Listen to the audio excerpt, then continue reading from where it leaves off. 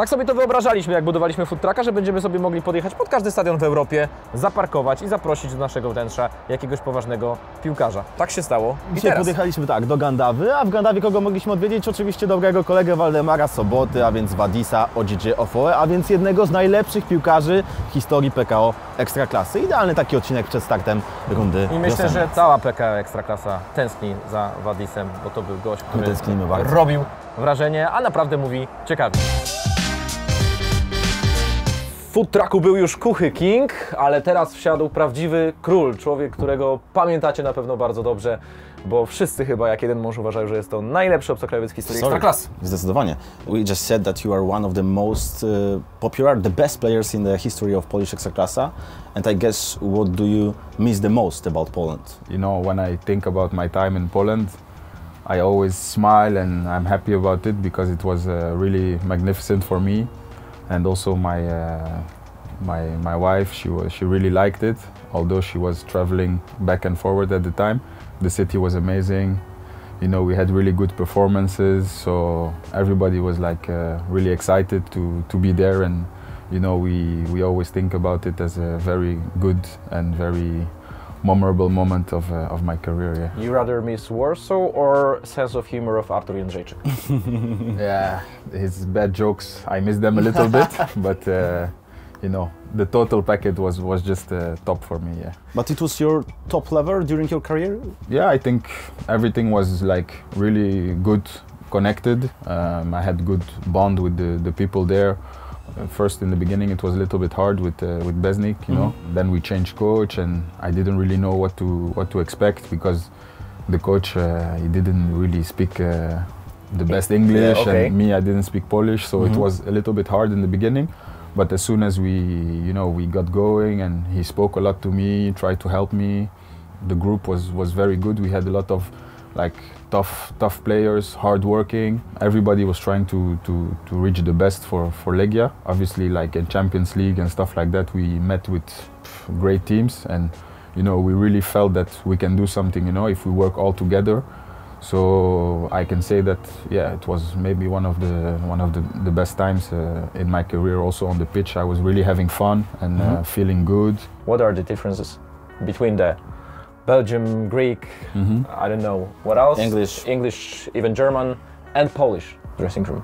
all the players that came to the dressing room were like uh, in some kind of way the team uh, the coaches and the players who were there like the polish players they really uh, take you in the team like we were feeling like a real family Like a unit? uh, yeah unity and also like if you enter this unity there's one thing that you need to know is that like you have to work hard. We felt like okay we're gonna work hard and then in the weekend we're gonna have the game like mm-hmm. we're gonna feel more easy in the game. And then from there on you know it build it build it build it. And then also with the coaches they were like you know time to have fun and mm-hmm. relax. But you know when we go on the field it's like 100% focus. And i think it's a little bit the mentality of the of the polish players mm-hmm. And do you remember someone from that Legia team who made on you a big impression in terms of skills? the goalkeeper majewski Majecki? Majecki. Yeah, he, he was when he was there. He was already like super talented, and mm-hmm. I al- al- I speak a lot with him, mm-hmm. and I always told him like, yeah, for sure you're gonna have big career, you know, mm-hmm. because he was so young but already like strong guy. Very mature as well. yeah, also yeah, he- in the dressing room like uh, stupid jokes and stuff like that, but you know on the field he was like already strong guy, big guy Yep. and also very talented. And of course, Szymański, he just when when we were playing good, he came in the team and he got some game time and stuff like that. So you can see that you know he has the quality. Those guys were like super young, and when they came uh, to play with us, it was like you can see that they have uh, something, you know. Konrad, who Uh, Michalak? Michalak. yeah, Yep. who went to Very fast now guy. yeah now he- he's in, in uh, Tur- In uh, Turkey. Turkey. yeah Turkey Yeah. with uh, Pazdan. Yep. Yes. So he was also, you know, he has the quality, but I think he needed a little bit more time to adapt. Mm-hmm. Uh, different than Szymański, who was like immediately you can put him in the team and you can expect something, you know, Mhm. from him. And I was uh, curious about your general opinion about the Ekstraklasa, about the level of uh, Polish league, because I guess that uh, since your departure, we are struggling year after year. For me, the, the league was very tough, um, very physical. I think every team has two, three very good players, and the other players like really strong mentality. Like I said, like really uh, the Polish mentality. The only maybe negative thing I can say about the league is that uh, tactically, sometimes it's like uh, a little bit chaos. You know, Okay. like some teams they will be so focused on being strong and tough that you know tactically sometimes it goes wrong. Yeah.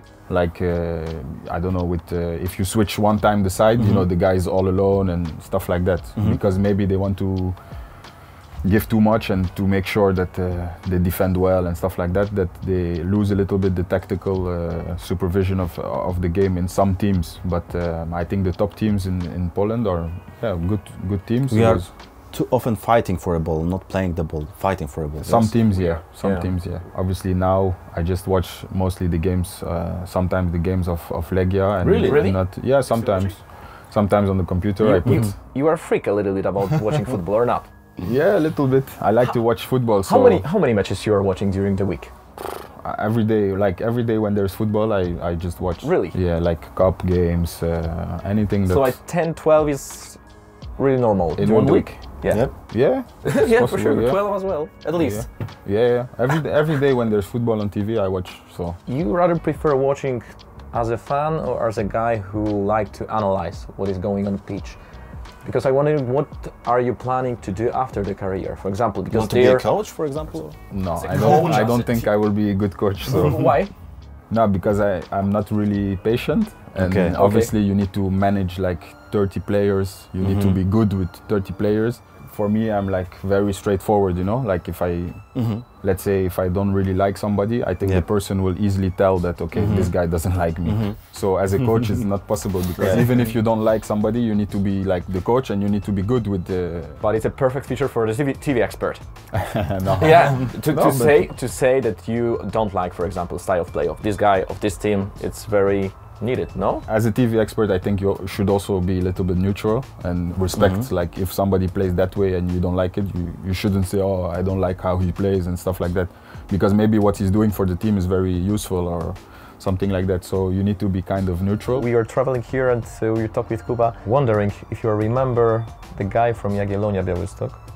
yeah, I don't know his name, but You don't I know his name? remember. But yeah. now he's playing in the Polish national team as well. Yeah, yeah, I know. was but he was like coming to Polish national team Yeah, then, no? yes. Yeah. He was the most annoying guy from the pitch that you were playing against.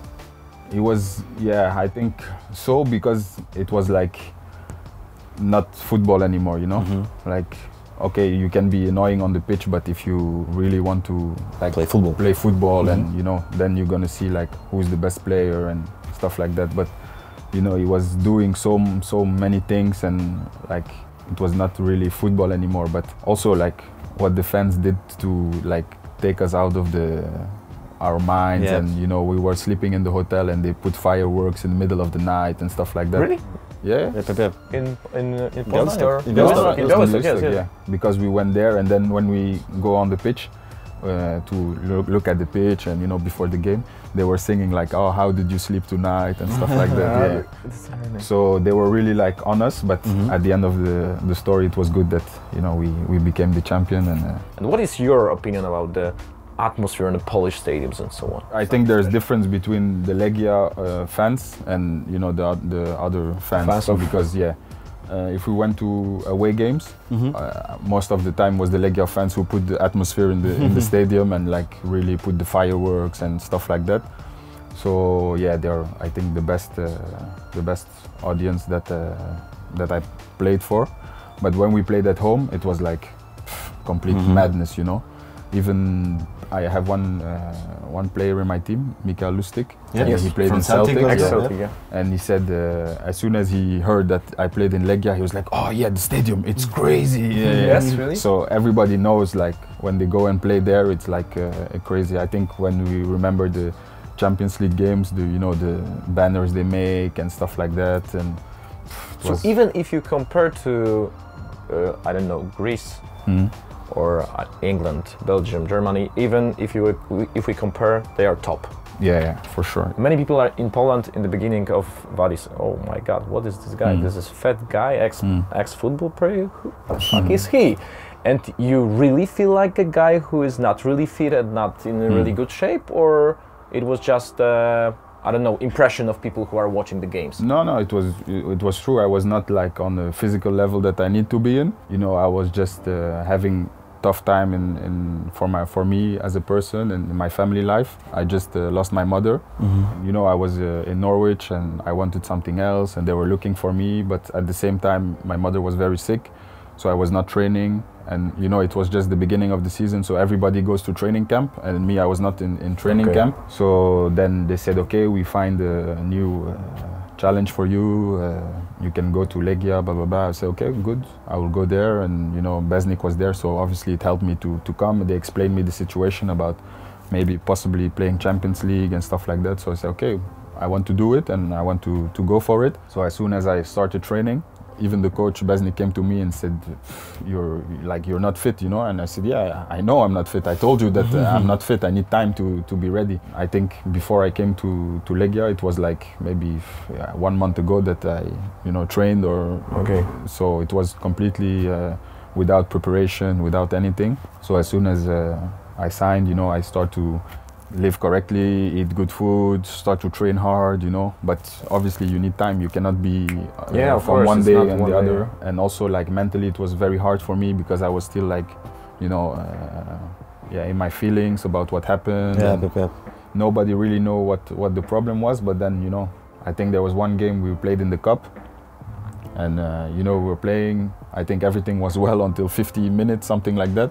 But after that, I was like completely like tired. You know, Okay. I, I couldn't go on anymore. You can't breathe, yeah. Yeah, and and the coach was like, no, no, no, stay on the field, stay on the field. We need you to play. And, and uh, you know, after that game, you know, a lot of people criticized me and said, okay, he's not fit and stuff like that. But it was nothing new for me because I knew that I was not fit. So I needed time to to get, you know, back to to, to, To- my to top form. rhythm and yeah. What was in your mind after the game uh, against Borussia Dortmund, the first leg of Champions League campaign, and uh, you lost 0-6? Mm. Before the game, um, you know, everybody had good feeling. You know, we go to Champions League, Yeah. stuff like that. So everybody's okay now. You know, first game of Champions League. But a lot of guys in the team never played Champions League. Me also. It was the first time I'm gonna play Champions League. So you know, we were speaking about the game and stuff like that. And the coach uh, said um, to the guy who makes the field. Yeah. He's like, yeah, don't cut the grass. Mm-hmm. So if the grass is a little bit long, Yeah. Borussia Dortmund cannot play the ball quick, you know. and he's like, okay, good tactic, and you know it will help and stuff like that. So after that, I think 20 minutes, 3-0, and we were, everybody was looking to each other What like, the fuck, hell? what are we gonna do, you know? Yeah. But you know, it's one of those games that you know you have to just say congratulations to the other team. They were better. We were not ready for for that game. So has something changed in your attitudes uh, before the game, for example, against Real Madrid? Yeah, I think of course, like every game that we played in, in Champions League, you know, you get little bit experience. You know what to expect. Mm-hmm. You know that game. You know the fans were super excited. Yep. Obviously, like when we went to Real Madrid, it was a away game, so a little bit less pressure, of course. As usual, yeah. Yeah. So and that game, I think we lost four two or five two. I think. 5-1, uh, if I Yeah, remember. but we played well, you know. Mhm. We, we f- really felt that, you know, we were in the game, we were playing. Uh, you With know, the ball as well. yeah, exactly. Yeah. So we had a few chances. Okay, we lost, but after that, there were friends in the hotel uh, of Legia. You know, they said, okay, we lost the game, but we're proud of you, like what you did and uh, how how you behave among the game. Perform, yeah. Yeah, Against perform, the big exactly. players, yeah. Then the home game, we felt like, okay, if there we can, you know, play with them, and you know, maybe if we're home, a little can do bit it of again. lucky. Yeah, the stadium There's was empty empty. stadium. Yeah, that was not. we, we uh, were on the stadium because we were on the press stand. Yeah. And uh, I wondering if you are missed that your the most beautiful goal for Legia was without the fans on Gilletta. Yeah, Yeah, because uh, you, it was this goal, yeah. Mm. So you can run to the Yeah, fans, yeah. but it was a nice goal and uh, I will take it, so it's good. Before the game, it was like, okay, in Real was difficult. You know, today we have a whole tactical plan, like what we're gonna do and stuff like that. So, okay, they start the game, they play, play, play, play, play. We didn't touch the ball, boom, Bale, 1 0. And everybody look at each other like, fuck, not again, you know?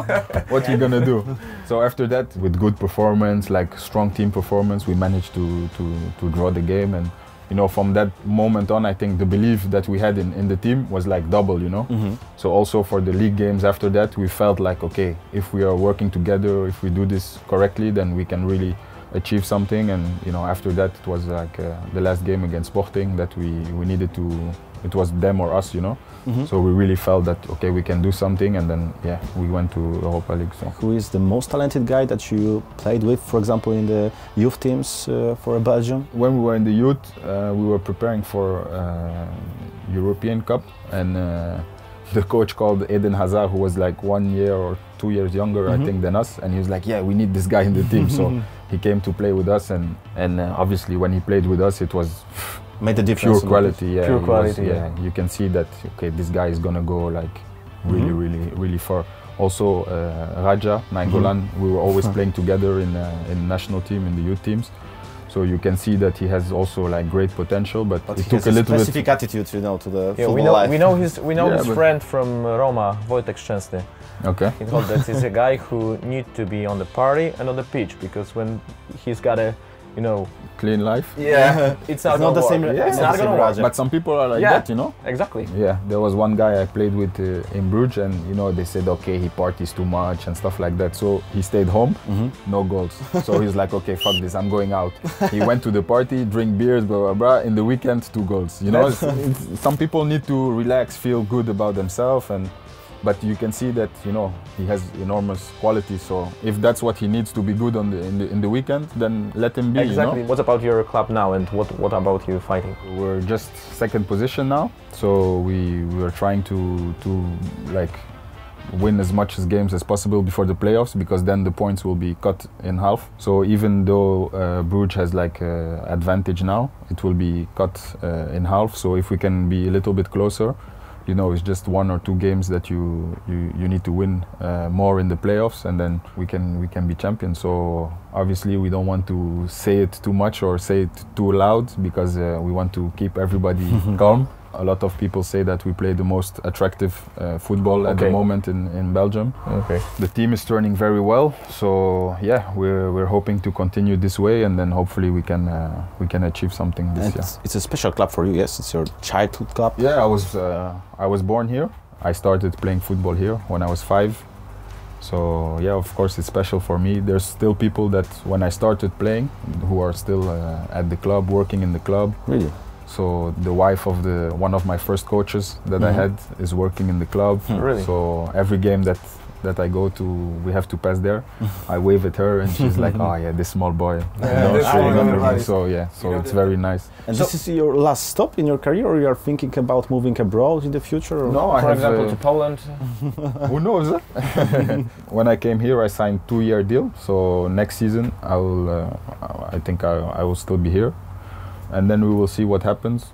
Never say never. So you are watching Exactly. Legia Warsaw this season, and what is your expectation about the team, and what is your opinion? It's difficult to say. A lot of, of, of things have, have changed. A lot of players, like new players, but I think uh, quality players have come. Uh, I play with uh, Andre in, uh, in André Martins, Olympiacos. Olympiacos, yeah. Yeah. Yeah. so he asked me about the team before he went, and Mhm. I was like, yeah, just go there for sure. It's like He's good making a difference in the Yeah, yeah, he's a quality player. Very, uh, I, I call him the Portuguese Iniesta. Yeah, Oh. a little bit, Yeah. a little bit the same. So, yeah, I I watch the games, but like I said, a lot have have changed. But I hope for them to to, to be champion. Do you remember the coach, Alexander Vuković from... Yeah, yeah, of Yeah. course. I know he's the he's the Mhm. head coach now. Yes. yeah, Yeah. yeah, yeah. Yeah. I hope he, he does well. He's the he's the only coach in Legia who put me on the bench. So really? you know when uh, when Besny got fired, he Yeah. was the Yeah. he- Caretaker- yeah, caretaker. Yeah, so he switched the team a little bit and put me on the bench, and uh, we went to Wisla to Mhm. play and played 0-0. And you know, I was like a little bit angry because he was like, okay, the coach is out, and now he puts me on the bench, and I was angry. But after we joke about this a lot, you know. So He's, he's great lad. yeah, yeah, of course. He loves the club also, you know. It's Mhm. very important that you have somebody like that and you know, those people who really love the club and have the club in their heart, those are the people who make the team and the club big, you know. Vadis, thank you very much indeed. It was Thank you. a Big very pleasure. Thank you. King thank you. Vadis Ojija OVE był naszym gościem i musimy Wam powiedzieć, że jak się dobrze zawiniemy, to przywieziemy Vadisa e, do Polski, bo tutaj co 10 minut przychodzi gość z klubu, Sprawdza, czy go nie puka porywamy. i pyta, czy nie wzięliśmy przypadkiem Vadisa do Polski, bo wie, że wiele, wielu fanów za nim e, tęskni, także może się jeszcze to uda. Dziękujemy bardzo serdecznie. Dzięki.